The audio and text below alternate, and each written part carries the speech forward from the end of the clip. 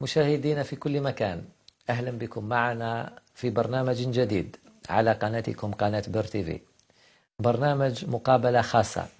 نستضيف فيه شخصيات وطنية فاعلة في السياسة والاقتصاد والفكر والمجتمع. ويسعدني أن أستضيف في هذا العدد الأول من هذا البرنامج الجديد الأستاذ نور الدين بكروح السياسي والحزبي والوزير السابق والكاتب المعروف والمتميز.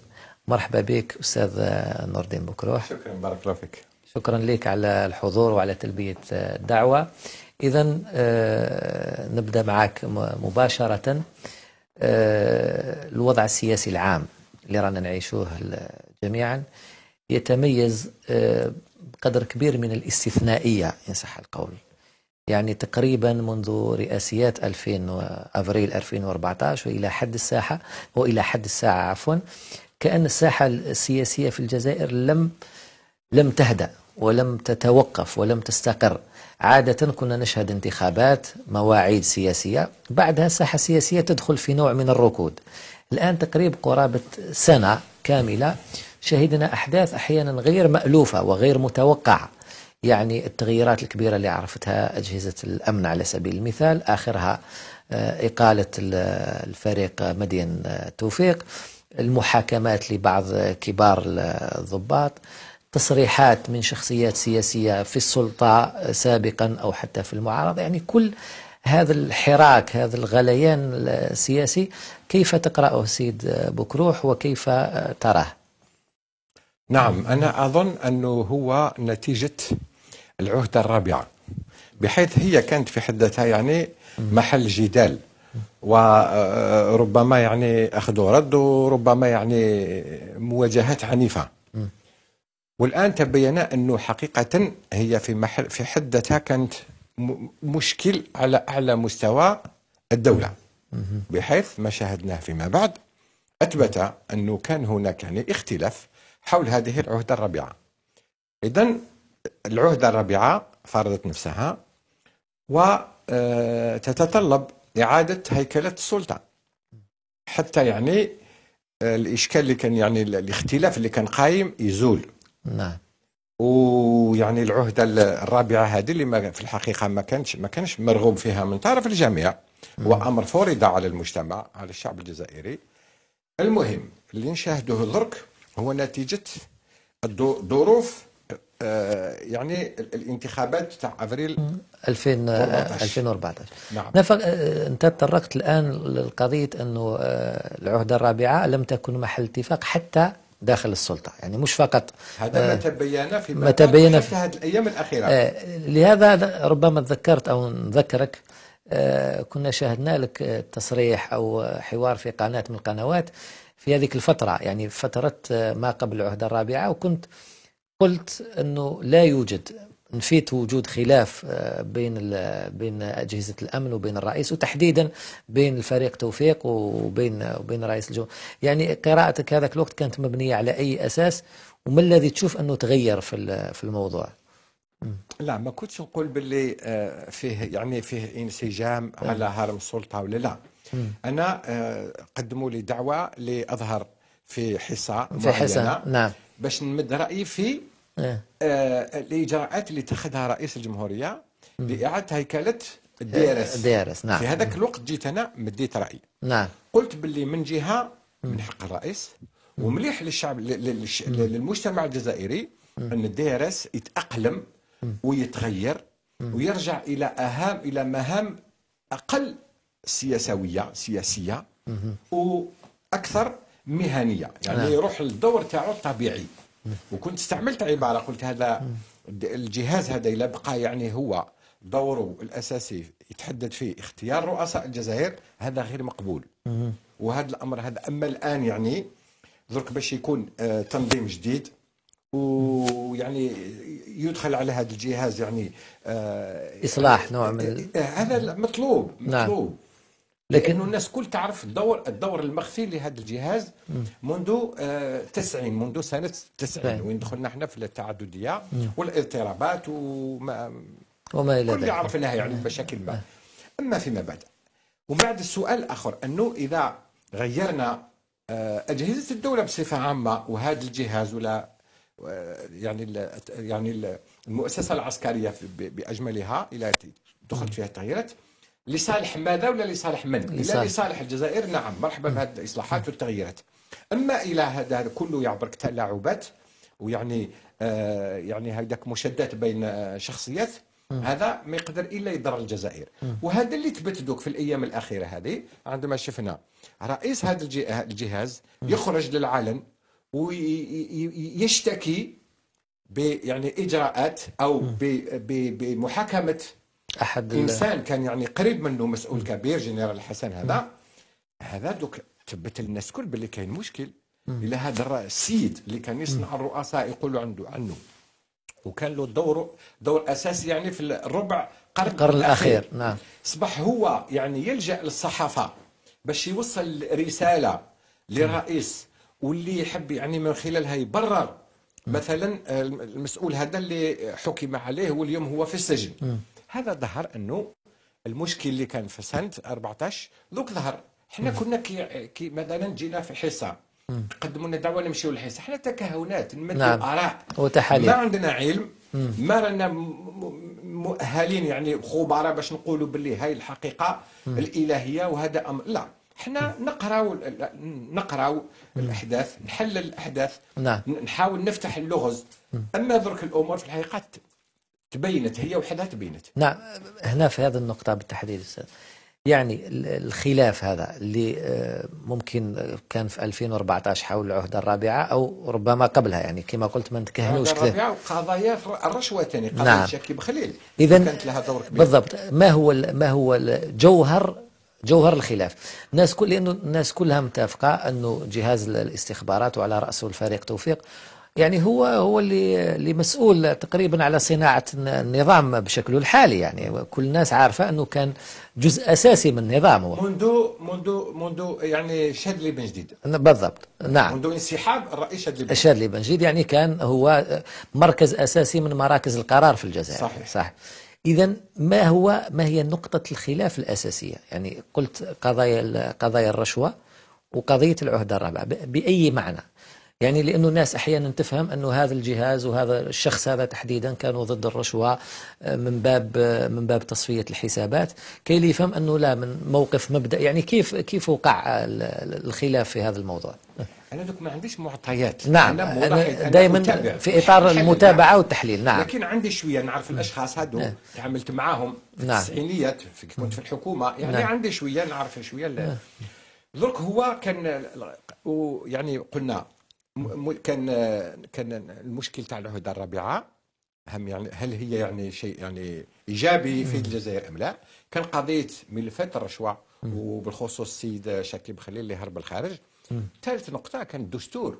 نعم. الدستور يعني اعاده النظر في الدستور اللي كان فتح رئيس فتح الموضوع هذا رئيس الجمهورية منذ 2011 نعم. ماي 2011 أنا شاركت في هذوك ال- المشاورات نعم بعد يعني تبين باللي كاين مشكل تاع مستقبل السلطة ولا إعادة تنظيم ال- ال- ال- السلطة أو إدخال الجزائر في عهد آه، سياسي جديد. والمشكل كان في الع- في العهدة الرابعة لأنه رئيس كان مريض كان تقريبا مشلول يعني ما عندوش فقد كل قدراته تقريبا. وحب يعني يتقدم العهده الرابعه وهذا في حد ذاته يشكل خطر على الجزائر. لأنه بلد عادي بلد سالم في في في كل في اي في أي منطقة. مجال. نعم لازم يكون رئيس يعني قادر ويكون يعني يعني في في في في, في صحة يعني كاملة وتكون عنده كل قدراته. وما نعرف بلاد كما الجزائر وما نعرف ليس لك راس ليس لك الأمور. نعم. فإذا به تقبلنا. كل قال لك إحنا معليش والراجل بقاو فيه شوية هكذاك. ولا باس معليش نقبلوه وقال المجاهد هكذا وقعد حكايات هكذايا. دونك دركا تيك تجاوزنا المرحلة. العهده الرابعة فيها. آه، ال- ال- الأجهزة تبدلت. آه، ال- ال- الأشخاص هذو اللي كانوا ربما كانوا يعترضوا نعم. راحوا. أما الآن دوكا تيك واش أنا نشوفوا الدستور هاو من جديد طرح عليه. قال باللي قبل نهاية السنة يكون تعديل الدستور. إن شاء الله نتمناه.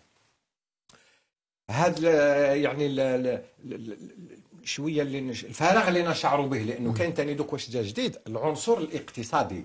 الضغوطات الاقتصادية والضغوطات الأمنية حولنا يعني اللي جاية المحيط من. المحيط. آه.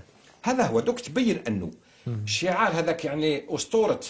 السلطة المزدوجة خلاص انتهى انتهت. كاين سلطة واحدة وخذت كل السلطات ورانا شفنا حتى الرجوع إلى الحزب الواحد. هذا- الأفلان أصبح يعني كل المسؤولين داخل الافلان السلطة الواحد معذرة سامحني هنا. هذه قضية لأنه السلطة ما عادتش برأسين عادت برأس واحد. نعم. اللي هو- راس في الحقيقة. إيه، اللي هو- راس ماشي برأس كامل. اللي هو رئاسة الجمهور يعني الرئاسة كمؤسسة. هنا هذا يحطنا أمام قضية أخرى. هناك الآن كما اللي ممكن هذه الفكرة تعبر عليها رسالة 19 أو 19 ناقص 4 أو ناقص 5 ما يهمش. أنه هناك من يتساءل هل فعلا أن الرئيس هو الذي يحكم؟ إيه دوك صبحنا يعني في في في اللعبة تاع الدراري يعني كما يقولوا. يقول لك عندنا رئيس يجي يجيوك الموالات يقول لك راهو لاباس. هو اللي هو اللي يراعي كل شيء ويتابع كل قضايا ويأمر بكل شيء. ونشاهدوه يعني إيه. في هذه الاستقبالات تاع السفراء وكذا من حين الاستقبالات هذوك ما تبين والو في الحقيقة. هذاك يعني برك يعني تبين حاجة يعني لقطات بعض الثواني هكذا. آه لكن لو كان كانت الأمور يعني عادية. علاش ما يتوجهش؟ هو بزوج كلمات ولا ثلاثة للشعب الجزائري بمناسبة ما. نعم. العيد ولا نعرف شنو ولا في أول نوفمبر ولا 5 جويليا يتكلم. ولو جالس في مكانه يحكم المي يعطيوه الميكرو ويت- ويقول زوج كلمات. لماذا هذا الامتناع المطلق؟ لماذا هذه المعاداة للمجتمع الجزائري منذ ثلاث سنوات؟ لماذا هذا يعني آه، شغل تجهل كل الأمة أو يعني الشيء اللي اللي يصبو تصبو إليه هذه الأمة؟ أنه تعرف عليك شيء. نعم. خلينا دوك الناس تقدموا مبادرة يطلبوا مقابلة مع الرئيس هذو أصحاب 19 ناقص 4 ولا 5 يعني الشيء المعقول فيها هو يعني طلب يعني طلب مشروع. طبيعي يعني يعني تقبلوا الإنسان يفهموا يرفعوا علينا اللغز هذا يتكلم رئيس زوج كلمات خمس دقائق سيدي أو يدير مجلس الوزراء يحكم فيه ساعتين ثلاثة. ما يقدرش يتكلم. ربع ساعه في التلفزة ولا خمس دقائق خلاص الناس ترتاح. شوفوا باللي راه يسوي يعبر باللي عبر الكلام تاعو يشوفوا كيفاش يفكر باللي المنطق تاعو يعني عقله راهو يتوظف بصفة عادية طبيعية. يطمئنوا الناس يطمئنوا ويعني وتنتهي هذا تنتهي هذه ال- الحكاية هذه. ونطرقوا المشاكل الحقيقية اللي هي يعني تدهور اقتصادي.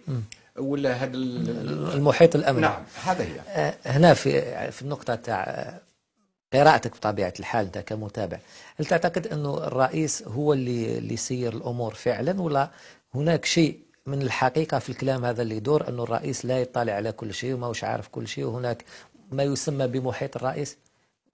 أنا اعتقادي قلت لك ما عنديش معطيات. طبعاً، طبعاً، طبعاً. أنا في اعتقادي هو اللي راهو. وراء كل القرارات اللي تتخذ لأنه كاين فترات نفوت عليها ما كاش قرارات. هذاك الوقت هذوك الفترات آه، يعني تبين أنه كاين مراحل وين يختفي وربما باش يعالج يروح يعالج وربما ما قادرش ولا حاجة. لكن أنا أعتقد باللي في غياب يعني لا موش قادر هو ما كانش شخص آخر يأمر باي بأي شيء. تبقى الأمور مجمده يعني في. م- مسؤوليته يعني. في النهاية ما كانش ما كانش اللي يتخذ ال- 100% القرار. في, في رايي طبعا في في في قراءتك ال- ال- الموضوع. آه، نرجع آه، ما دام تكلمنا على الرسائل رسالة آه، 19 وسمعنا رأيك فيها. آه، الرسالة تاع تاع الجنرال توفيق؟ نص الرسالة يعني أكيد أنت قريته وشفناه. يتكلم هو على قضية محددة هي قضية جنرال حسن ويقول باللي هذا السيد ظلم آه، بشكل ما من جانب العدالة وأنه قدم خدمات وكذا وكذا. وحتى هذه الملاحظة الصغيرة في نهاية الرسالة للصحافة قال نتمنى أن الصحافة ما تأولهاش وما تعطيلهاش أكثر من آه، من بعدها. لكن في النهاية الرسالة خضعت خضعت آه، حجم كبير وكان عندها صدى كبير كبير جدا. قراءتك انت دائما سي نور الدين يعني هل هي آه، هل هي رسالة سياسية؟ يعني لها ما بعدها أو يمكن يكون ما بعدها أو فقط رسالة من مسؤول حب يدافع على صديقه أو مرؤوسه أو يعني أنا كتبت مقالين في هذا الموضوع. نعم نعم؟ ومديت رايي آه، آه، يعني بكل بتفصيل لكن نعم. حابين. عصارة هذا الرأي هذا نعم. هو قبل كل شيء الرجل يعني الجنرال توفيق حب يقول أمام الراي العام أنه إذا جنرال حسين حسن هذا راه اليوم في السجن هو يتقدم باش يقول راهو مسجون بدون حق بدون سبب. إذا كانت شيء أي شيء يعني ولا أي غلطة آه، يعني تكلم يعني قام بها هذا أنا المسؤول الأول. يعني كان يقول شارعوني أنا وبرروه هو خرجوه من السجن وشارعوني أنا. هذا هو فحوى رسالة الرسالة اللي وجهها للرأي العام. وهو مؤسس أسس يعني هذه الفكرة على القانون بصفة عامة والقانون العسكري بصفة خاصة. نعم. القانون العسكري يقول لك باللي العسكري عندما يؤمر بفعل أي شيء المسؤولية ترجع اللي الأمر. الم- القائد. المنفذ ينفذها بدون يعني ما يفكر. ما يناقش. نعم. نعم. هذا خصوصية من خصوصيات القانون العسكري. نعم. اذا هذا الرجل حب ربما يعني يبين موقفه تجاه الجنرال هذا اللي كان مساعد معاه كان يعمل معاه. باش يقول له أنا نشهد عليك باللي ما راك محكوم حكموا عليك بظلم اولا. ثانيا أنا نرفع عليك المسؤولية ونحطها في مستوايا أنا وأني قابل ن- نتقدم للعدالة. هذا هو الفحوى تاع الرسالة الاولى درك هو قال لك ما تخرجوش من هذا النطاق. هو يبين لأنه كنا سمعنا من قبل قبل ظهور هذه الرسالة عن السيد جنرال نزار قال باللي توفيق كان راسل الرئيس الجمهورية وقال له باللي جنرال حسن بريء نعم بريء من كل التهم اللي. اللي وجهتها له المحكمة المحكمة العسكرية العسكرية. كي شاف باللي اذا يدير هذا معناه أنه الرئيس رفض رفض وخلى. المحاكمة تتم لأنه الرئيس هو هو وزير الدفاع دفاع، نعم. هو اللي يقدم الشكوى ولا ب... بإذن منه اللي تتقدم الشكوى ضد شكوى ضد آه،. مسؤول يعني عسكري اذا المنطق يعني يعني المقاربة منطقية تاع جنرال توفيق. قال بين رأيي أنايا ما نقبلش الظلم ما نقبلش الظلم وأنا مسؤول اني نقول لكم باللي هو ما, ما وما كانش ما ارتكبش غلط ما كانش أساسا غلطه هو اش يقول في الرسالة تاعو؟ اذا هذا تبين باللي الخلل إذا كان موجود إذا كانت التهمة هذه قائمة على شيء قال بينوها إذا ما يش ما يش قايمة على أي شيء أتركوا الرجل هذا سرحوه يعني اطلقوا سراحه وخلوه. دوكا الحالة راهي معلقة ما نقولوش باللي راهي تختمت.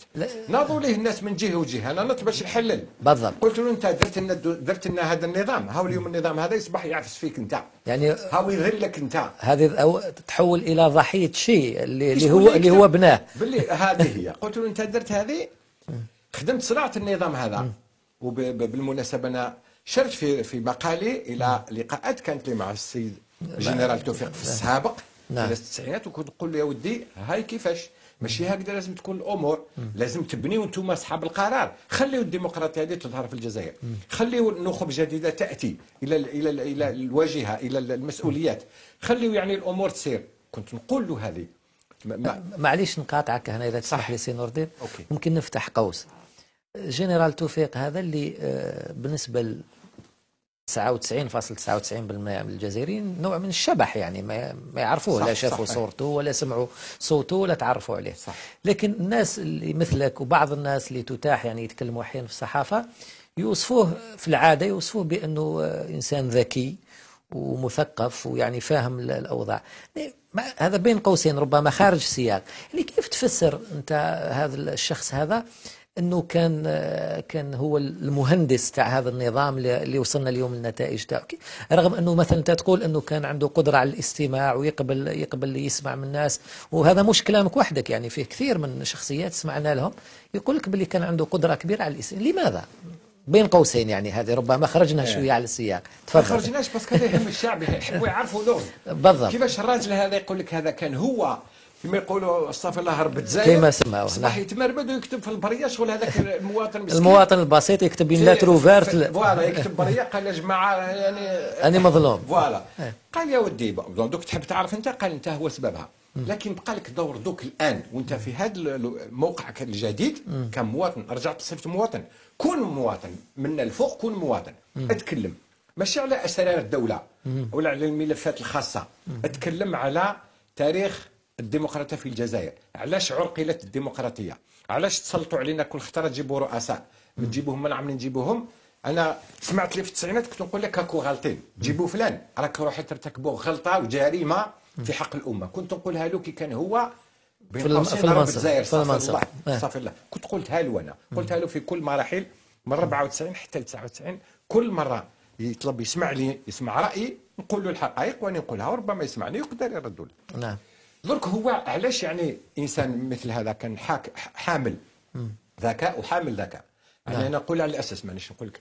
يعني بالنسبة للمسؤولين الكبار اللي اللي, تعرفت عليهم أنا من رؤساء ورؤساء حكومه هو يتميز بهذه قدرة السماع. نعم. ويحترم الناس. يعني دوك ما نقولكش أنا مانيش نقول لك الصورة هذه س- صورة مثالية. نعم. لكن الشيء اللي يعني عرفته في دوك في في تأدية مهامه. مهامه يقدر يكون الناس يقول لك كان هكذا يقول لك جنرال حسن هذا لخاطرش تابع ليه؟ يعني يعني المقربين ربما كان يقول لك من, من العائلة تاعو. ما على باليش أنا. أنا نتكلم كيما نتكلم معك دوك معك أنت كل إنسان تكلم معاه عدة مرات تاخذ عليه صورة. تشكل صورة تعمل طبيعي انطباع. طبيعي. توالف تشوف كيفاش تحلل تف- تفهم تفهم شيء من شخصيته من كان يفهم بصح شغل شغل شغل يعني على باله باللي الحالة صعيبة باش تغير النظام يتطلب جرأة كبيرة يتطلب شجاعه يتطلبك أنت. هو يقول لك إحنا مادام أنا كان يقول لي يقول لي الشيء اللي تقول فيه مثالي. ويقول لي أنت الوحيد اللي عنده رؤية شاملة على الجزائر ومستقبل الجزائر. بصح باش يعمل قرام باش يغير؟ على تنفيذها ما يديرش. لأنه هو مسلم أمره للسيستم. هو شغل سلم كلش للنظام هذا. صابه دخل فيه نماه طوره وكان مسؤول عليه مدة طويلة واليوم يعاني منه. كما كثير من السياسيين اللي يسموا اللي يسموا انفسهم أبناء النظام. لما يقد عندنا جزء من السياسيين تا- معروفين يعني قدم نفسه يقول لك أنا هو ابن النظام. هذه كتبتها أنا نقول لك أشياء اللي قلتها في نعم نعم. قريناها في ال- قال لي أنا كنت قال لي أنا محب الافلان قال لي أنا افلان ها واش دار بك الافلان اليوم؟ ها الافلان يمرم ذاك اليوم ويرميك في الزنقة. نعم. ويسبوك ويذلوك نعم. ها الافلان تاعك هذه اللي. سمعتوا أنتوما. نعم. ماش افلان الثورة. افلان التراب نعم. تقول له bien sûr الافلان هو بابنا هو تاريخنا. بصح تجيب لنا دوكا تاك اللصوص تقول لنا الأفلان. هادو اللي يقول يدعوا مجاهدين في الأفلان ما مش مجاهدين. هادو يعني رخصوا بروحهم. ولو شاركوا في الثورة وداروا داروا الجهاد اليوم باش تقبلوا وضع الأفلان. يعني راكم خاص أنتم ما كوش مجاهدين. الجهاد الجزائري لازم يكون أبدي ماشي مرحلة وبعدها نعم. تترك. هذا هذا النقطة سي نور الدين. فيه تثير سؤالين أو تساؤلين. الشيء الأول هو أنه حتى لما الرسالة هذه بعض المآخذ يعني كتب كثير حول الموضوع. قال لك يعني لما حتى لما تحرك وندد بتجاوز أو ظلم حصروه في شخص واحد اللي هو صديقه واللي كان المرؤوس تاعو في حين مثلا عندنا جنرالين واحد آخرين تحاكموا ربما ما عندوش علاقة مباشرة لكن على الأقل آه، جنرال حسين بن حديد كان دافع عليه يعني في تدخلاته كان كثير ما يدافع على على على جنرال توفيق. ففي حين سكت سكت عليهم آه، سكوت آه، سكوت تام. لهذا آه، ربما يقول لك بعض القراءات تقول لك أنه الرسالة فيها ممكن طابع الشخصي أكثر منها الطابع ال- أكثر أكثر صح، منها الطابع صح، السياسي. صح، صح. بعضهم يقول لك حتى نوع من خلينا نستعمل نوع من الرجلة يعني شخص تجاه شخص خدم معاه ولا لا تحمل أي بعد سياسي. هناك أطراف أخرى هي اللي حاول تعطي لها بعد سياسي وأنه صح. يعني تشوف آه، هذه القراءة م- معقولة؟ معقولة. وزيد لخاطرش أي ماشي أي مساعد. هذا كان آه، قريب. يعني نعم. كان قريب منه وكان يعني م- م- دور كبير. حسب ما يقال ما نعرفه ما عمري شفتو ما ما نعرف عليه شيء. هذا قلت لك يبين باللي يعني أو دار أقل يعني أقل كما يقول أقل الإيمان أضعف الإيمان. أضعف الإيمان. قال إنه نشهد باللي الرجل هذا ما ارتكبش غلطة. في عيون القانون العسكري. نعم. هذه قالها. من جهة أخرى بين بين الاسطور قال إذا كاين محسوب حاجة مسؤول. مسؤول, يتقدم بالمحاكمه رانيه أنا هو المسؤول. وتوقف ومن بعد حبس. لكن هذا في حد ذاته يبين باللي هو كان كاتب الرئيس والرئيس ما ردش عليه ووصلوا في معاقبة الجنرال حسن. اولا. ثانيا بين باللي آه، يعني ما بقاتلوش إمكانية باش يخاطب أي مسؤول. هو اللي كان يعرف كل مسؤول يصبح ما يقدرش. الرئيس يقفل له الباب وصديقه ولا زميله ولا رفيقه قايد صالح. شاف ديتا ماجور هذا. باللي ثاني الباب هذيك مقفولة واللي تبعت الرسالات كما كما يدير الشعب. المواطن البسيط اللي ما لكن هذا يكفي اولا باش يولي يورينا للناس الحاضرين واللي وفي المستقبل. باللي هذا النظام ما نقدروش نعتمدوا عليه. هذا النظام مبني على الخداع ويخدع رجالاته ويخدع يخدع الناس اللي أسوه. ما فيش لما دونك تركوا اخرجوا لنا من هذا النظام. لازم ندخلوا في نظام مبني على القيم ماشي على الأشخاص. على هذه اللي أنا المقالي سميته ليك الكلمة ليك الكلمة جنرال. أتفضل أهدر. أهدر. علاش إحنا علاش حنا إحنا خلقنا وحنا نهضروا ملي بالبدايه وحنا نهضروا نعم. نهضروا يعني نتكلموا انتقاد النظام. واش تخاف؟ واش بقى لك تعيش باش تخاف؟ من ماش تخاف؟ يقتلوك خلي يقتلوك. كاين ناس قتلوهم كاين المجاهدين الحقيقيين. مجاهد شنو يعني يتعرض للموت يقبل فكرة نعم. الموت. قول حقيقة أشهد وتحمل تبعات يعني تجاه الشعب الجزائري والجزائري وري باللي تامن بالجزائر ماشي بالنظام. وري باللي تريد مصلحة الشعب الجزائري. قال النظام هذا فاسد. وأنا كنت فيه ومسؤول وراني نادم عليه.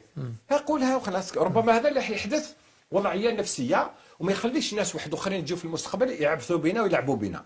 أنا أنتظر لحظة يعني الخلاص وقتاش نسلكوا من هذا السيستم ومن هذا الجيل اللي يضل يهضر لنا على الثورة خانوا الثورة. قتلوا بعضهم بعض في أثناء الثورة.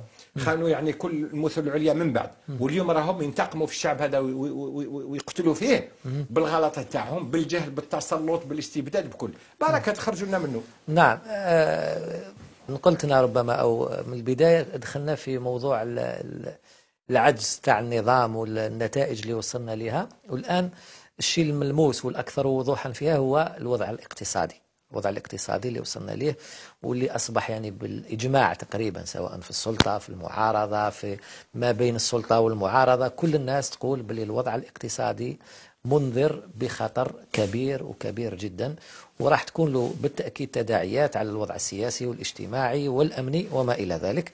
راح نعطيك الفرصة للإجابة سي نور الدين بكروح بعد ما نتابع مع مشاهدينا هذا الفاصل.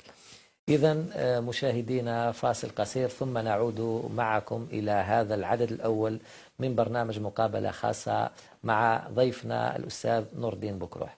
إلى لقاء بعد قليل.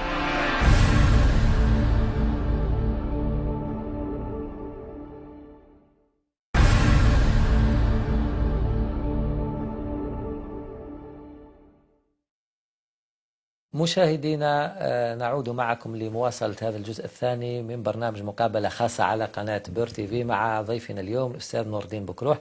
أستاذ نور الدين كنت قبل قبل الفاصل طرحت عليك سؤال. آه، وصلنا إلى وضع اقتصادي يتفق الجميع على أنه وضع منذر آه، بالخطر وستكون له تداعيات كبيرة على الوضع الاجتماعي والاقتصادي وحتى الأمني يعني بشكل من الأشكال. لب الموضوع الآن في في المجال الاقتصادي هو قانون المالية. الحكومة أو الموالاة تقول لك هذا ضرورة بمنطق الله غالب هذا وش هذا هو الموجود. وفي بعض الأحيان يحاول يقول لك لا وهذه فرصة نبدأ اقتصاد جديد وخارج المحروقات وعشنا كثير على ريع المحروقات. المعارضة في الغالب تسميه باللي جائر وقانون العار وقانون كذا والتنازل عن أسس الدولة الاجتماعية إلى آخره. قراءتك قراءتك أنت أستاذ نور أنا أشوف بلي من جهة الحكومة كاين غياب تصور اقتصادي يعني قديم. ماشي لحظة الوصول يعني إلى الخطر إلى آخر يعني اللقفة باش الإنسان يقول آه واش عملت أنت بكري؟ علاه ما عملت والو. أما من جهة المعارضة أنا مانيش نشوف يعني آه تقديم يعني آه، آه، رؤية جديدة خاصه بالاقتصاد برك يعني هذا يشمت هذا هذا يعني يستغل آه، ضعف الآخر أو غلطات الآخر فقط. هي لعبة فارغه جافة يعني ما ما ما ما, ما تجيب أي شيء يعني مفيد للجزائر. دائما هذه مشادات في بمناسبه يعني التصويت على القانون المالية. تنوض مسرحية في البرلمان. لكن هو القانون المالي هذا كما القوانين اللي سبقته ما فيه ما فيه شيء استثنائي. ما فيه شيء جديد. هذا تغليط للرأي العام فقط. ما فيه حتى شيء شبه القانون تاع منول. المبالغ كانت عام نول 8800 مليار دولار هذا آه دينار. هذا الميزانية. الميزانية. حجم الميزانية هذا العام 8000 مليار دينار جزائري. أما الإجراءات الأخرى ما كانش يعني شوية حاجة برك يعني فيما يخص بعض المراسيم ولا. ماشي يعني يعني يعني منعرج كبير في السياسة الاقتصادية. برك المعارضة تستغل التخوف العام اللي عند الناس كل الناس كل يعرفوا باللي البترول عندما ينباع ب 150 ويقول لي 35 ماشي كيف كيف؟ ماشي كيف كيف؟ وحنا عايشين إلا من موارد البترول. اذا هذا برك رايحين نتعاقبوا على الشيء اللي ما عملناش ماشي؟ أخطاء يعني دارتها الحكومة في الآونة الأخيرة. يعني المشكل مش قانون المالية في حد ذاته ماهوش مشكل كبير. ما كانش لو كان ندرسوه تقنيا لو كان الوقت ندرسوه نقطة بنقطه والله ما فيه أي يعني لا يختلف عن آه. هاد يعني ال- ال- المعركة اللي حتى. حكاية المادة 66 والمادة 71 يعني ما كانش هذا يقول لك الخوصصه واش من الخوصصه هذا أنتم تاني دارنا شبح الخوصصه هذه؟ قطاع عام ميت يعني صافي دوك 50 سنة.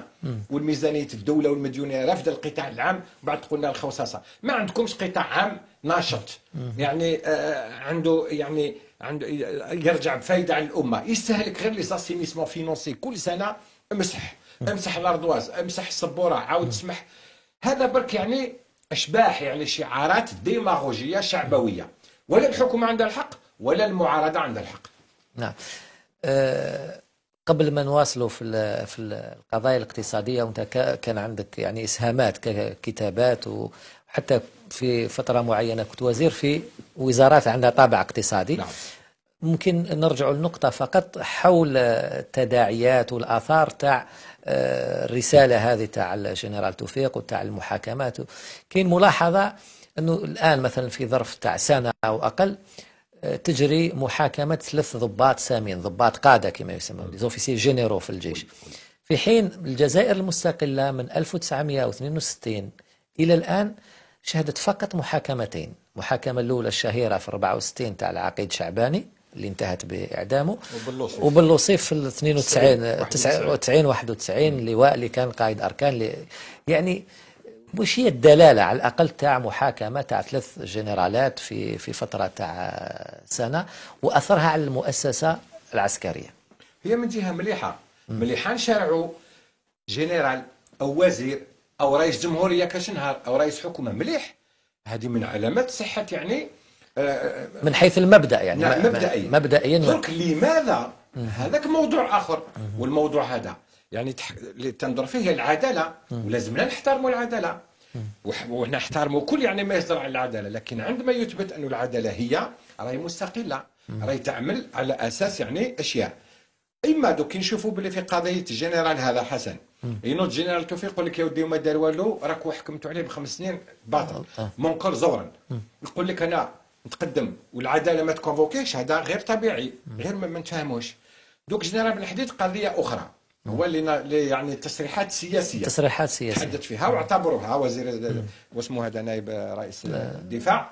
اعتبرها باللي مساس لي يعني بمعنويات. الجيش. وما إلى ذلك. لكن دوك عنده شهرين ونص ما كاش محاكمة.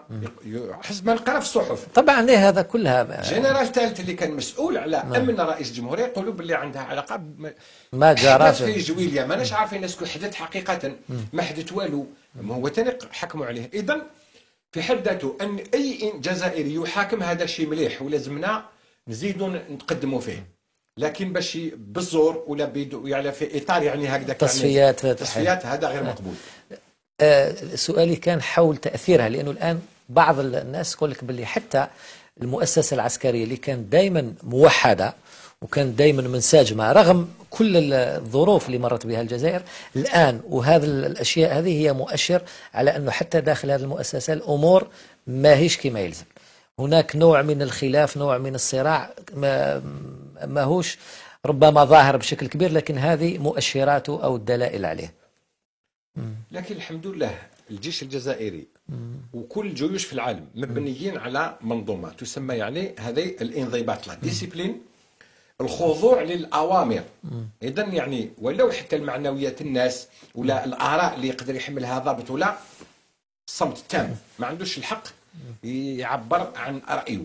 راهو في مؤسسة هي بحد ذاتها مؤسسه على الانضباط وتنفيذ الأوامر. هذا اللي يحمي الجيش الشعب الوطني اليوم وحنا ما نتمناوش أن ينقسم الجي ما ما يقدرش ينقسم ما يقدرش. مستحيل. والحمد لله يعني المؤسسة هذه يعني منسجمة من بكري كانت يعني bien sûr كي تكون يختلفوا في أمور بيناتهم ما تخرجش للساحة. معليش. أما الآن تبين أنه كان يعني آه، خلاف كبير بين الجنرال. ها- الجنرالات ال- تاع الشعب صالح وتوفيق الأركان ولا, ولا نعم, نعم. لكن هذه ظهرت بيناتهم ولا ظهرت من الفوق؟ ولا رئيس الجمهورية هو اللي راهو يضرب هذا بهذا. ما على بالناش نعم. وما نتمناوش أنه الجيش يعني لأنه إلا ضعف الجيش آه، ما بقى والو يعني ال- الركيزة الأساسية للدولة ممكن ممكن الجيش راح كلش. نعم. نرجع الجانب الاقتصادي آه، كما قلت لك. يعني أنت تقول أنه قانون المالية في النهاية هو مثل القوانين السابقة هو استمرارية في آه، سياسة منتهجة آه، منتهجة من ساب وب- ب- بالمناسبة هذا اقتصاد على الجيش ميزانية الجيش نعم. 10 ملايير دولار. نعم. ميزانية الدعم الاجتماعي 10 ملايير دولار. في نفس القانون. نعم. هذا ال- ما دام طرحت قضية الدعم الاجتماعي. كاين دائما الكلام حول 800 أو 900 أو 700 أو 1000 مليار دولار اللي دخلت الجزائر منذ آه، منذ 99 أو 2000 إلى الآن. المعارضة تقول باللي هذا تبذير وباللي هذا المبلغ كافي باش نبنيو عدة عدة دول من الصفر. في حين الحجة الأساسية عند الموالاة يقول لك لا يقول لك ما لازمش نشوفوها بهذه البساطة كاين شيء يسمى يسمى les transferts sociaux الدعم الاجتماعي وحنا دولة قائمة على الدعم. الثلث تاع الميزانية ويقول- ثلث لو تيان 30% صح. ويقول لك باللي في النهاية كل الجزائريين كلاو هذه الأموال هذا صحيح، ومديناها صحيح. لهم في شكل دعم وكذا. شكل الأسعار صحيح؟ صح صحيح. هذا انت أنت تشري الخبزه هنا تسوى عندنا آه، بثمن وفي الجوار في المغرب ولا فرنسا يسوى 10 مرات أكثر. ولا البنزين يسوى هنا مرة ولهي يسوى آه، يسوى هنا آه، لهي يسوى مرة وحنا هنا 20 يعني 20 20 مرة. إحنا مثلا ب 20 دينار هما ب 200 دينار. نعم. وروح وروح دوك هي دوك المعارضة. صح تقول الكلام هذا كاين 800 مليار دولار دخلت الخزينة في 15 سنة. نعم. ونحي ديجا واحد أكثر من الثلث راح في الدعم الاجتماعي هذا وحقيقة. الدعم قوي. الدعم ما كانش يعني الدولة تقدم. لكن ما نشوفوش إحنا من باب العاطفة. نشوفوه من باب يعني يعني الصرامة الاقتصادية. يعني الواقعية الاقتصادية. الواقعية الاقتصادية تسمح لك باش تعمل دعم إذا كنت عندك موارد مستقرة مستقرة ومستمرة دائمة. تقدر تعتمد عليها. قال كل عام نرفد نمد 30% الميزانية للدعم. للدعم. الا ما عندكش. أنت من سنة أخرى راك مربوط آه،. مربوط بأسعار تقول؟ النفط. هاي اللي كان واش ماشي نقول باللي ما لازمش الدعم نقول باللي لازم نأسوا لاقتصاد قوي يكون ناجح ويكون فائض الفائض نبعثوه كله للدعم الاجتماعي. نعم. هنا ممكن مع- المعارضه ما تقولش هذه. نعم. نقول لك عادة الكلام اللي قلته لي انت في البداية انه المسؤولين تاعنا لما يكون في السلطة يتكلم زي لما ما يكونش. انت كنت لفترة ولو ما يش طويلة ربما. طويلة طويلة خمس سنين ونص ونت- إيه. ونتحملها نعم. ونتحاكم عليها نتحاكم نقبل. إذا لازم. إيه، إيه. لا آه، إحنا فقط كنت في مناصب اللي عندها علاقة ب- بالقطاع الاقتصادي يعني في المؤسسات الصغيرة والمتوسطة وفي في, في التجارة. يعني بطبيعة الحال إحنا نفهم أنه الوزير هو جزء من طاقم حكومي يعني هذه قاعدة. الوزير ما هوش هو ال- المسؤول. لكن في النهاية هو مسؤول على جزء من آه، من هذه السياسات. وإذا كنت ماش مسؤول لماذا تكون تقبل أنك تكون موجود؟ يعني هذه هي ال- القاعدة. انت في هذه الفترة اللي كنت فيها. حاولت آه، قدمت شيء قدمت آه، رؤية مختلفة آه، حاولت تصنع آه، تصنع تقليد جديد في التعامل مع القضايا الاقتصادية يعني حاولت؟ نعم. وكافحت؟ وبشهادة حتى ال- الخصم يعني اللي راهم هما اليوم راهم في السلطة يعني برا مواطن. بشهادة رئيس الجمهورية لو كان جاي يشهد هو جاو قادر ما قدروش. عيب تقول لرئيس الجمهورية روح تشهد. بصح على باله وكاين تسجيلات وكاين شهادات الناس اللي في الحكومة واللي خارج الحكومة. شوف روح سقسي بن فليس روح سقسي بن بيتو روح سقسي بالخادم سقسي ويحيى. ما عمري عملت شيء اللي ما كنتش قابله ولا ن- نمن به. كافحت من أجل يعني آه، وضع اقتصاد يعني عقلاني عملت كل الواحد موقفي حول تجاه يعني هذه آه، قضية الدعم. قلتها له 20 مرة للرئيس بس كنت في الاتجاه كنت نقول له يا هاول كيفاش يعني ننظموا السياسة تتلائم مع قدراتنا وتدريجيا ويأتي يوم وحتى بيداغوجيا parce que دوك أمة كلها تولف لها بالدعم. تعودت صحيح واحد النا- هما دوك أبرياء الناس هادو ما قالكش نقص لي في الحليب. كي خلق صافي شكارة تاع الحليب سواء دينار. هو بالنسبة ليه عادي. ما على بالوش باللي وراء هذا العمل كاين- بالفعل كاين حقيقة مزيفة حقيقة اقتصادية مزيفة اللي تغطيها الحكومة. دونك اللي يبني على على التز... على على الشيء المزيف ما يقدرش ينجح. هذا هو. قلت كان فيما يعني كنت- خالفت في الحكومة مع, اتجاهه اللي عبرت عليه والناس كل اللي كانت في الحكومة في الفترة اللي كنت فيها في الحكومة يشاهدوا وربما كنت من أقصى الناس اللي يهضروا في, يتكلموا يعني بحدة في مجلس الوزراء أمام رئيس الجمهورية. وقلتها كيما نهضروا دوك في الشأن العسكري ما يخص النظام كيما واش كنت نقول للعسكريين هادو كل ما أتيحت لي الفرصة ماشي أنا نروح نزق عليهم ولا نروح ندخل عليهم هكذا. كي يجي يطلب لي رايي أنا نقول له رايي كيما نعم. أنا فقط ربما حتى أحيانا عادة المواطن يحب يفهم ال fonctionnement interne يعني السير أو الآليات الداخلية تاع نظام الحكم إنه النظام عندنا ملفوف بالأسرار وال- والحجب والأغطية ما ما نفهموش كيش يمشي. ولو تكون عضو في الحكومة ما تشوفش النظام. ما تشوفوش.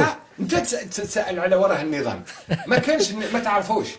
دوك واش النظام الحقيقي يعني اللي يحكم. الحقيقي هي استشارة مشاورة ولا لقاءات بين زوج ولا ثلاث أشخاص رئيس الجمهورية. وزير enfin شيف ديتا ماجور وهذا اللي كان حاكم ديالس هادو هما فيه ثلاثة. في كل القضايا. هذا هو السيستم. في هاد ثلاث وظائف ما نقولش ثلاث أشخاص. ثلاث وظائف، نعم، ثلاث الجمهورية، مناصب. صاحب الأركان وصاحب هادو هما الثلاثه لو يعني هاد الناس هادو ما في ثلاثة هما يقرروا باللي لازم الجزائر تدخل في الديمقراطيه تدخل الجزائر في الديمقراطية. أما تكون كل حكومة 30 وزير أربطهم ورميهم ما يزيد حرف ما ينقص حرف. نعم. ومهما تكون وظيفته وزير الداخلية وزير الاقتصاد وزير مهما وزير أول رئيس حكم. والو والو. القا- الحكومة هو نشاط مدني نشاط نشاط اقتصادي. الناس يغ... يغ... الناس يخلطوا يخلطوا بين السلطة والحكومة. والحكم. وزير هو موظف سامي برك هذا ما كان. موظف سامي كي يجي لبلاصتو ما يقدرش يحرك أشياء. باش يعين واحد لازم رئاسة الجمهورية تسمح له. لو كان ما تسمحلوش ما يغيرش ولا يحرك موظف عنده. باش يعمل ميزانية لو كان ما صادقش عليها مجلس الوزراء اذا رئيس- مستحيل تجوز ولا دينار دوك الأمور مخدومة هكذا. في الدستور تاعنا لو يتغير دوك حنا رئيس الجمهورية كي جا. في الدستور ولا في الواقع؟ كان في الواقع déjà من بكري لكن ملي جا رئيس الجمهورية هذا وزاد نحى. صلاحيات رئيس الحكومة زاد قتل الحكومة. ما بقاش دوك هذيك السلطة. هي تتلخص في شخص رئيس الجمهورية ما با في الجيش. يعني- درك puisque راحوا راحوا هذوك زوج ريسان. ما آه. بقاش بقى نص راس بيسك راجل مريض. لا. عنده بنص راس رانا ماشيين فقط. هنا في هذه النقطة. يعني الحكومة الحكومة عندنا دورها موش سياسي. يعني موش سياسي. إداري- إداري. إداري. إداري. تسيير إداري. 99.99 إداري. ما كان النصوص مثلا الأشياء ولا القرارات عمرها ما تجي مجلس الوزراء. الأمور الأمنية عمرها ما تجي المس... ولا وزارة الأمور الدفاعيه عمرها ما تجي من مجلس الوزراء. حتى تو- التوجهات السياسية الخيارات الكبرى ما عادة. كان والو puisque يقول لك تنفذ رئيس الجمهورية. برنامج رئيس الجمهورية. ورئيس الجمهورية يقول لك الشعب صادق عليه يوم الانتخاب. يعني ما تجيش تهدر اسكت. هاودوك واش يقولوا الناس؟ يقول لك رئيس انتخب عليه. وحنا نعرفوا التزوير في الانتخابات ملي خلق في الجزائر ما نعرفوش شكون اللي حقيقه منتخب لحد الآن ما نعرفوش شكون عمره منتخب حقيقة. الآن هذه ال- الفكرة تاع أنه الآن عندنا سلطة بنص راس أو براس يعني توحدت. هناك وجهة نظر أخرى وربما تعطي لي رأيك فيها وقراءتي يقول لك لا يقول لك الآن آه، تفتتت مراكز مراكز القرار ومراكز السلطة. ربما في وقت سابق كانوا زوج. الآن أصبح أكثر من مركز بحكم في جزء منها بحكم وضعية الرئيس. إذا آه، رسميا قانونيا دستوريا الرئيس هو أو الرئاسة هي المركز الوحيد أو الأساسي الواحد الواحد لكن ما ما كان ما تشوفش مثلا هذا هذا الصعود هذا مواقع الكلام ماشي وا- مواقع القرار. يهضروا برك فلان ينوض يهضر. parce que واحد نغزو من لهيه تكلم هكذا. وجهه قال قال attaquiw الجنرال توفيق هذا مثلا attaquiwه. قال attaquiw بكره حي attaquiwه هذا ما كان يصنعوا لك ويجبد لك الدنيا ويشتموك ويسبوك. تسمى مجرد. واجهات. والو واجهات برك. ماشي برك خضرة فوق عشاء يعني يعني مانيش عارف بصلة فوق فوق فوق الآخر. هذا ما كان. ما كانش. مركز القرار الوحيد هذوك هو مركز الضجيج والثرثره والشتم والقباحة. هذا ما كان. يعني ما دام حطيتنا في هذا الموضوع سي, سي نور الدين يعني آه، نقدر نقول قراءة إذا صح القول لهذا المستوى في الخطاب السياسي. يعني لماذا كيفاش تفسروا أنت؟ يعني لما نلحقوا حتى اسمح لي على الكلمة البذاءة أحيانا اللي قلتها القباحة كما نقولوا بال- بالعامية وش تفسروا؟ يعني إذا كان ممكن نفسروه بالمعنى السياسي يعني كيف كيف ممكن نفسروه؟ الرداء فقط باسكو اليوم يتم الاختيار على أشخ- أشخاص اللي ما- يجيبوا ما يضيفوا ولا قيمة للرئيس. بالعكس يزيدوا ينقصوا من قيمته. الناس اللي تتكلم الآن كما قلت أنت يظهر أنه كاين ناس هم يقرروا. هذا يهضر في الاقتصاد هذا يهضر في الشأن السياسي هذا ثالث آه، يتكلم لنا بألغاز حول الدستور شغله مقرب بالرئيس هذه كل هذه اختيارات شكون خير الناس هذو؟ الرئيس خيرهم. سي سعيداني شكون خيرو؟ رئيس الجمهورية خيرو. هو اللي حطه على رأس, ودار له برقية في في المؤتمر الأخير وزكاه وفرضوا على الناس والناس الأخرين احتجوا الناس كي نقول الناس يعني تعالى فلان نعم. مجاهدين ويقول لك إحنا مجاهدين وكل شيء وكل شيء. سكتوا. سكتوا. قبلوا الأمر parce que على بالهم بالأوامر. واحد بركبت في الجزائر. هذا يؤدينا إلى الكلام عن الدستور. واش راح يكون الدستور مستقبلا. باش يكرس هذا الوضع؟ نعم. الوضعية؟ آه، قبل ما نلحقوا الدستور الكلام اللي رايح حول دور المال الفاسد في الحياة السياسية. البرلمان في الأحزاب الكبيرة على رأسها مثلا الأفلان. يعني كل الناس على بالها أنه بعض الأسماء نعرفوهم وربما ما يحتاجوش باش نذكروهم. مروا قفزوا مباشرة من رجال أعمال بين بين قوسين كما يقال إلى مسؤولين في أعلى آه، مناصب الدولة. يعني مش فقط على مستوى الأحزاب حتى على مستوى المؤسسات السيادية يعني في في الدولة. يعني كيف تقرأ وكيف تشوف هذا الدور تاع الفاسد هل هو ظاهرة مستقلة؟ يعني ظاهرة نشأت في ظروفها الخاصة أم أنها كما قلت ترجع لمركز قرار آه، واحد. هذا شغل دوكاتيك يعني كاين فتح. فتحوا الأبواب ل آه، يعني آه، لوجوه ولا أشخاص اللي ما- ما يفيدوا ولا الاقتصاد ولا يشرفوا وجه الاقتصاد ولا وجه السياسة. مانيش عارف علاش هذا هو اللغز الكبير علاش كأنه حبوا يفرضوا على الشعب الجزائري أقبح ما فيه. قال خيروا لي شكون اللي جاي في الأمة هذاك؟ هذاك نحطوه على رأس المؤسسة الفلانية. قال شكون اللي ما يعرفش حتى يتكلم خمس دقائق أمام الناس في الاقتصاد ولا أي ميدان. قال هذاك اللي يجيبوه وما تنحيولوش الميكرو خليوه طول الطول يهضر باش في الخارج وفي الداخل الناس يقولوا هذه هي النخبة الجزائرية. الإنسان اللي أمر بهذا يعني يكره الجزائر ويحب يقتل الجزائر ويجيب الاسوء فيها يحطها على رأس الجزائريين. قال أنتم ما تستاهلوا إلا هكذا. هذا هو الرساله اللي نفهمها أنا من هذا من- هذا- اختيار هاد الأشخاص لتأدية هذه الأدوار. كان الناس جيب لنا ناس يشرفوا الاقتصاد مرحبا بهم. مهما كان حزبهم ولا تعرفهم. جيب ناس كي يتكلم يعني يعجبك. تحب تسمع. تقول هذا السيد هذا يشرف الجزائر. نعم. ما تجيب لي انت واحد كلوشار فاغابون مهبول ومش عارف شنو وتقول لي هذا النخبة. أنا نقول لك ماشي نخبة. هذا ال هذا ال بسرعة هذا حول قضية هذو رجال المال والأعمال. يعني تشوف تشوف باللي هما فعلا قوة مستقلة اللي قادرة تواصل وحدها أو مرتبطة فقط بوضعية بين كونجونكتور كونجكتير هذا كاع هادو كاع بنادر ودرابك هذا ما كان ما كان والو. يعني ماهوش حاجة يتفاو تحب بالخف بالخف يتفاو كيما شغل هذيك الآخر يتفاو نعم. وصلنا للدستور كنت تكلم أه، أولا نشوف باللي أه، تعديل دستوري. هو جزء من الحل بداية حل ضروري للوصول إلى حل؟ هو الوصول إلى إتمام الحيلة اللي حابين نفرضوها على الأمة هذه ويعني إتمام ربما القضاء القضاء النهائي على الجزائر هذه باش يعني يكون في المستقبل تكون اليات يوضعها في الدستور باش تبقى تحكم الجزائر ويستمر هذا الوضع. يعني يعني أرخص شيء في البلاد هذه هو اللي يكون على رأس البلاد هذه. هذه جريمة في حق الجزائر فقط. أنا أشوفها هكذا. يعني بالنسبة لك التعديل الدستوري هذا ما راح ممكن يجيب أي رغم أنه كاين كلام غلق العهدات منح دور معين أو دستارة دور المعارضة منح دور آه، شوية زايد للكلام اللي أنا نسمعوه كلنا وأكيد راك سمعته حول ما يمكن أنه يكون في الدستور هذا. أنا ما شفتش بلاد في العالم أو في التاريخ اللي مأسسة على الدستور اللي مأسسة على الدستور يكون شأن الدستور يعني شخص واحد. ويعمل العمل اللي يعني كل ما يتفعل حول الدستور يكون سر. الناس يغيروا الدساتير. يعني بفتح الملف للناس كل. الناس كل تمد رايها حتى في 76 للدستور يداروا بومدين د- د- دستور يعني استبدائي.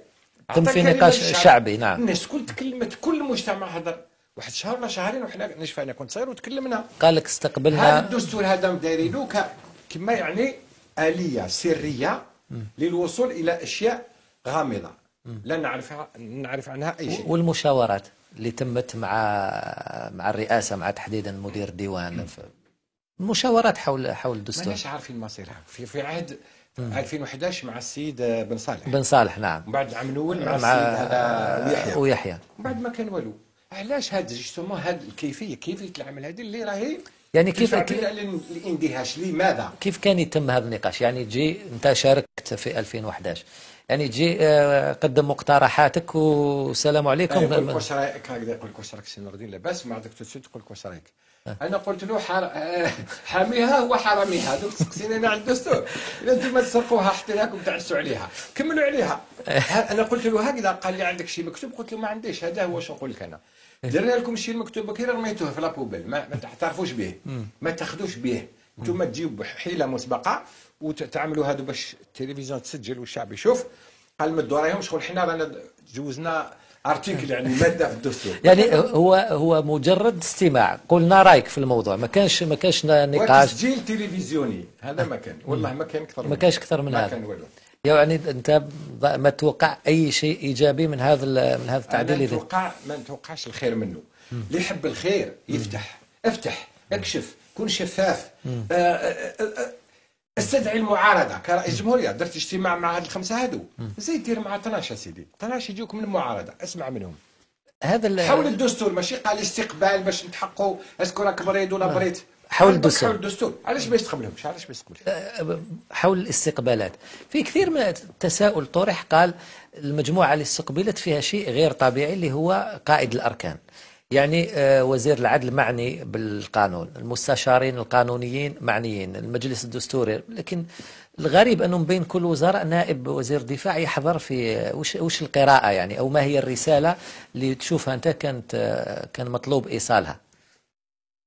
وتاني غياب رئيس المجلس الدستوري تاني نتسائلوا فيه. نعم. كان لازم يكون في الاجتماع. هو اللي هو المعني الأول ما بالموضوع تفهمش هما دوك شوف هادو ما يمشيو بال- بالألغاز.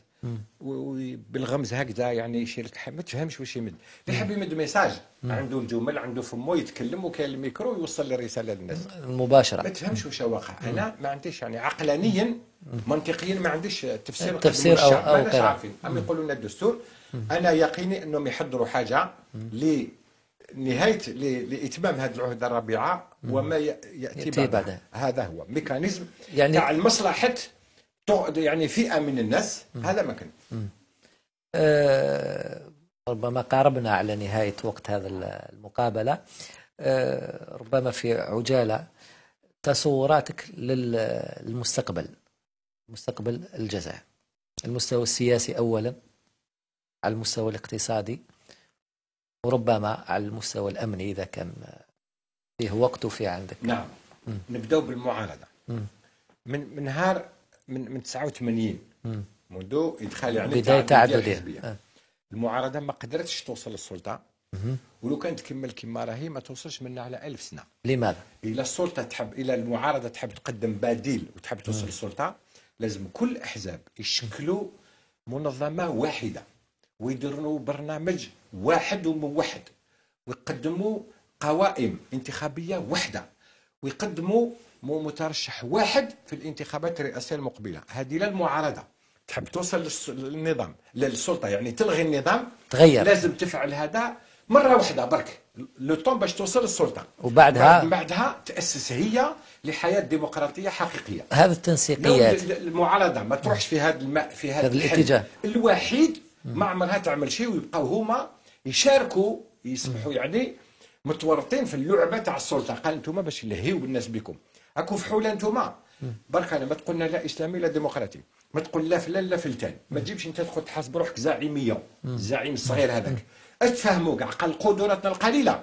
نحطوها في تيار واحد. نسميوه التيار من أجل ما نش عارف شنو؟ ومشيو هكذا حتى ل 2019 هذاك نهار الشعب يمشي معكم. من التم يامن بكم ويمشي معكم. عندما تأسوا الجمهورية الجديدة المعارضة تكون وصلت للديمقراطية.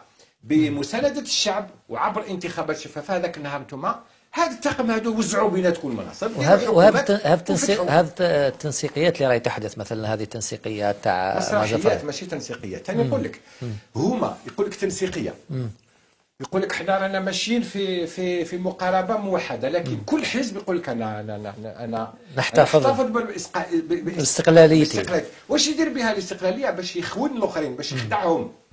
باش في اللحظة وين ما لازمش هذا ينسحب. كما داروها مؤخرا. نعم. يقول لك أنا من حقي نروح نروح نتلاقى مع السلطة. راكو يعني كل واحد يصنع باب صغيرة باش يقدر يخدع. اعلنت اعلنت هذا لا، التنسيقيه اعلنت على مؤتمر الآن؟ قال لك أنا نحضروا إلى مؤتمر يجمع كل القوى ونمشيو إلى إلى خطوات أبعد مؤتمر متسقه اعلامي ce sont des rencontres médiatiques parce que باش غير يجيو يصوروهم يهضروا في الجرايد يا ودي كاينة طريقة واحدة إلا تحبوا تغلبوا على السلطة اللي قلتها لك. يكون تيار واحد تيار واسمه المعارضة فقط ما نديروا شعار واحد آخر. قال حزب المعارضة ولا تيار المعارضة. اتفقوا. وصلوا ل 2019 بمرشح واحد. ومن بعد في كلش البرلمان يعني في في نعم. 17 قائمة واحدة موحدة. تفهموا بيناتكم. زيرالدا جعلوا منها فرصة باش تأسسوا قوائم مشتركة. نعم. عينوا واحد. ديروا مؤتمر بيناتكم. كل واحد أنا عرفت الفكرة هذه في التسعين. نعم. في التسعين عرفتها بصح الخيانة اللي في المعارضة على أكثر من الخيانه اللي تسمى في جهات أخرى نعم. اذا المستقبل بسرعة. رؤيتك للمستقبل. السياسي الجزائر يعني الاتجاه اللي تشوفه. غالب أنا قلنا السياسي لو كان يتوحدوا يديروا معارضة نوصلوا صح. إذا ما توحدوا. الاقتصادي آه. رايحين يعني لا محاله لصعوبات كبيرة باسكو البترول مازال يقولوا باللي أكبر مؤسسة اللي تعمل الاستشارة في في العالم هي البنك هذيك الأمريكية Golden آه ساكس آه. هذه ساكس هذه تقول باللي البترول يوصل ل 20 دولار البرميل في 2016 خلاص واش بقى واش من الاقتصاد بقى أمامنا. اذا يعني الدعوة راهي خطيرة جد خطيرة. لازم يعني تغيير فوري يعني في الاتجاه الاقتصادي في السياسة في في إدارة شؤون الاقتصادية. الشؤون تاع الأمة. الاقتصادي على الصعيد الأمني. إحنا نشوفوا باللي كاين الخطر ازداد يعني حولنا وراهو يتقوى داعش راهي وصلت لليبيا. ليبيا ما كاش حل. وربما إحنا إلا جانا ال- ال- القطر اللي يدخل لنا منه المشاكل. هاي اليوم في دبدب رانا نسألوا واش ليبيا، من ليبيا.